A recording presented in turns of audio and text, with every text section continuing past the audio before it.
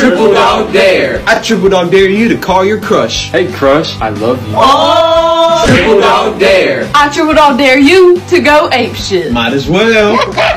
Triple dog dare. I triple dog dare you to turn into a dryer. No, I don't want to be a dryer. Triple dog dare.